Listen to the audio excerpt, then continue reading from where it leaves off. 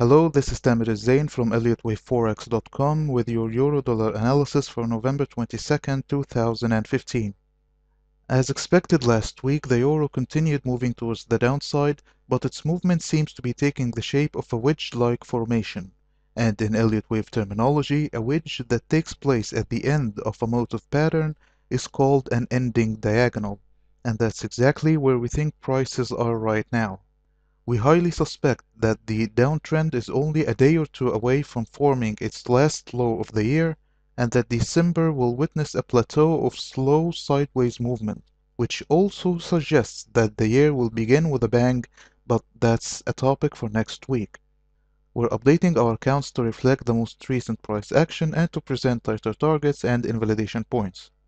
So beginning with the big picture on the weekly chart, the bigger uh, picture sees that the euro is moving towards the downside in cycle wave X, which is forming a double zigzag labeled primary waves W, X, and Y.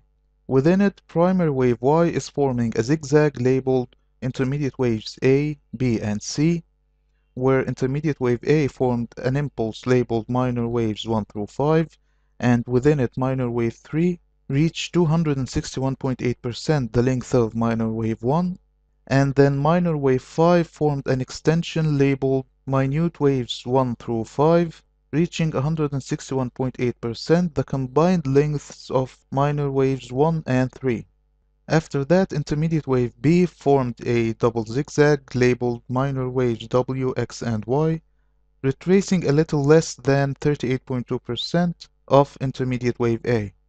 So right now intermediate wave C is most likely forming an impulse labeled minor waves 1 through 5, which will complete primary wave Y and therefore cycle wave X. This will be confirmed by movement below 1.0462. The MACD indicator supports this count by showing a bearish reversal right after touching the zero line. So now at 0.9830 primary wave Y would reach 100% the length of primary wave W, then at 0.9536, intermediate wave C would reach 61.8% the length of intermediate wave A. This wave count is invalidated by movement above 1.1718 as minor wave 2 may not move beyond the start of minor wave 1. Now let's take a look at the details of the daily chart where the main count, as we said, says that intermediate wave C is most likely forming an impulse labeled minor waves 1 through 5, and within it minor wave 2 formed a double combination labeled minute waves W, X, and Y, each forming a zigzag labeled minute waves A, B, and C, overall retracing a bit more than 61.8% of minor wave 1.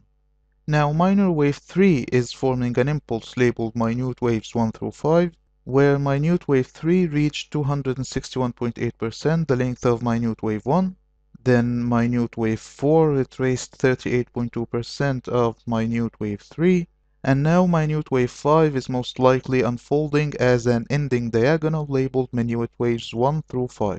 Within it, minute waves 1, 2, 3, and 4 seem most likely to be complete. This count expects the euro to continue moving towards the downside a bit further in minute wave 5 to complete minute wave 5 and therefore minor wave 3. This will be initially confirmed by movement below 1.0617.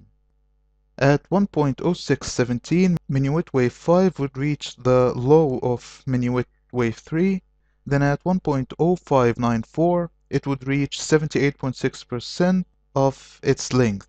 After that, price should start moving sideways to upward in minor wave 4, which should last from 3 to 4 weeks, probably at least. This wave count is invalidated by movement above 1.1087 as minor wave 4 may not enter the price territory of minor wave 1. And next week we'll post the targets for minor wave 4 once we've confirmed that minor wave 3 is indeed complete. That's all for our analysis for this week. I wish you profitable trading and see you next time.